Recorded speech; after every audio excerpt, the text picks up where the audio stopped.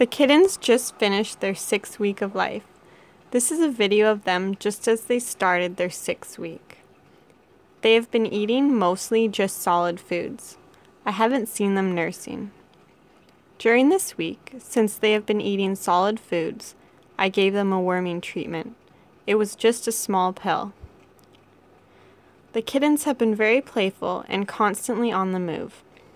They have been climbing, running, scratching, and playing with toys.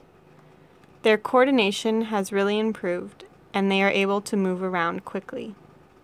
They play a lot with each other. They bite, swat, roll around on each other, and lick each other.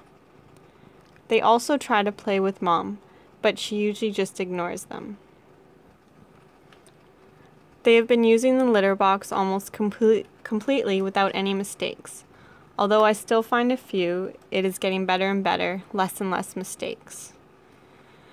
I can notice that they have grown from the beginning of the sixth week and the ending of the sixth week. I can tell a difference. They seem do seem bigger.